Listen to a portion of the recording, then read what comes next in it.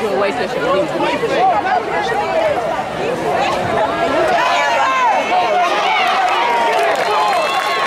Number 36.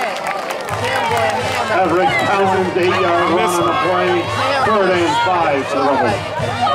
Did he? I missed it. He got the initial block that left the playground.